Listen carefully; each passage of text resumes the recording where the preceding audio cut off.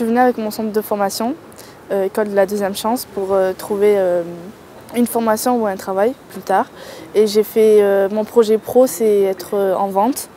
Et du coup, je suis partie me renseigner à l'armée parce que ça m'intéressait aussi. Nous sommes ici avec une stand pour présenter l'offre du CNAM, qui est une offre de formation qui s'adresse à des salariés, mais aussi à des demandeurs d'emploi qui souhaitent acquérir une, qualification une formation pour avoir des compétences qui va les permettre de trouver plus facilement un travail ou être euh, plus mobile dans leur, projet professionnel. Nous sommes là pour euh, ben, renseigner un peu les gens sur leurs droits, c'est-à-dire euh, ben, je suis au RSA, je retrouve une activité, qu'est-ce qui se passe sur mes droits, en quoi la CAF peut m'aider, montrer que nous sommes présents même au niveau de l'insertion. On est là, la CAF, elle essaie de soutenir au maximum les gens.